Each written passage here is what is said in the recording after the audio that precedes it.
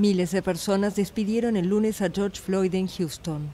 Durante seis horas, más de 6.000 personas, según los organizadores, pasaron frente al ataúd abierto de Floyd, convertido en un símbolo de la lucha contra la brutalidad policial y el racismo en Estados Unidos. Oh my goodness. Se ve simplemente en paz, aunque sabemos lo que sucedió, pero pese a la forma en que lo hicieron, se ve en paz, se ve tranquilo. Por la noche, cientos de personas participaron de una vigilia en su honor en el campo de fútbol americano de su antigua escuela.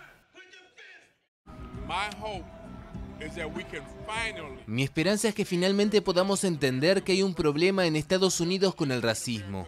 Hay un problema en Estados Unidos con la forma en que la policía opera en las comunidades negras y debe haber un cambio real. No hablar, sino cambiar. El velatorio en Houston, ciudad natal de este afroestadounidense fallecido a los 46 años a manos de policías blancos, fue el cierre de una serie de ceremonias antes del entierro del martes.